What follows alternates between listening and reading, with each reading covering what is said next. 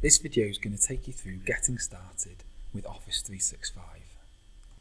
365 refers to a collection of Microsoft Office apps that you can install on multiple devices, and this includes OneDrive. OneDrive offers a simple and easy way to store, sync, and share all kinds of files with different people and devices across the web. This is often referred to as the cloud, and that's just referring to web based services that are hosted outside of LJMU.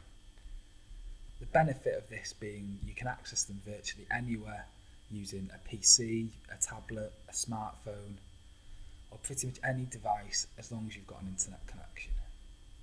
Access to the cloud based storage area is accessible on Windows 10 PCs so any LJMU PC that you log into, you can access the file storage area and you'll notice there is a drive called Documents. Here you can save files to this location and they are automatically synced with the cloud.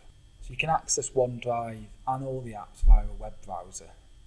And to do this, you can simply search for OneDrive or Office 365 login, or you can go to onedrive.live.com. You'll then need to click the sign in button to the top right. And here you'll need to enter your username followed by at ljmu.ac.uk. Clicking next will take you to the LJMU sign up page. Enter your password and click sign in. Here you have access to any files that you've previously saved there and you also have access to the 365 app. So you can install Office 365 to a mobile device that is run by either Android or iOS operating. And you can install this to smartphones and tablets alike.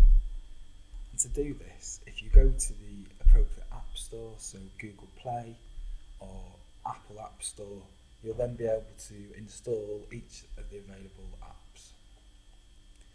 Once you've installed the apps, you'll need to log into them, and again, you'll need to use your LJMU username followed by at ljmu.ac.uk.